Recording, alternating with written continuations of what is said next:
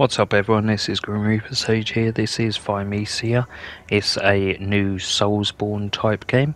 It was released today, so the 18th of August 2022.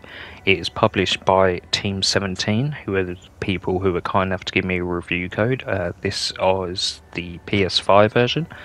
It's also available on the PS4 both versions is currently $24.99 however as of recording this it's on sale. If you have PlayStation Plus you save 20% and that ends on the 24th of the 8th so in a couple days time.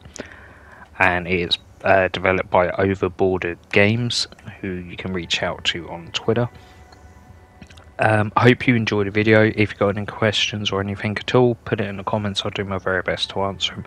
Please check out my blog as I'm recording this. Um, once this video gets rendered and everything else, I'll put it towards my review, which will be on my blog, which is www.garylodgegamesreview.game.blog. Um, please check that out as well so you can see my fan art that I draw and everything else.